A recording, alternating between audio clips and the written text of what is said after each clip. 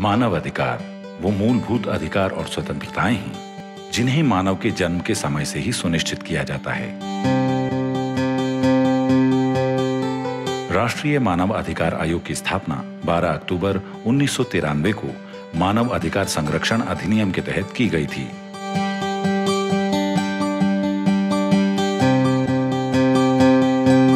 हमारी व्यवस्था उन संस्थाओं की आभारी है जो गरीबों, महिलाओं, बच्चों, पीड़ितों, वंचितों, आदिवासियों समेत हर देशवासी के अधिकार को संरक्षित करने के लिए प्रतिबद्ध है। साथियों, मानव अधिकार सिर्फ़ नारा नहीं होना चाहिए। ये संस्कार होना चाहिए। सस्टेनेबल डेवलपमेंट गोल्स हासिल करने के लिए आज सरकार जो भी प्रयास कर रही है, उसमें एनएचआरसी की भूमिका बहुत महत्वपूर्ण है।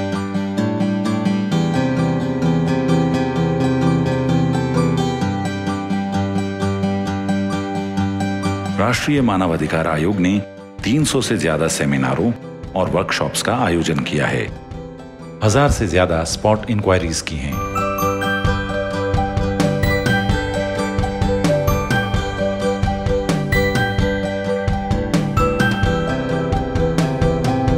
एनएचआरसी ने कोविड 19 के दौरान कई एडवाइजरीज भी जारी की हैं।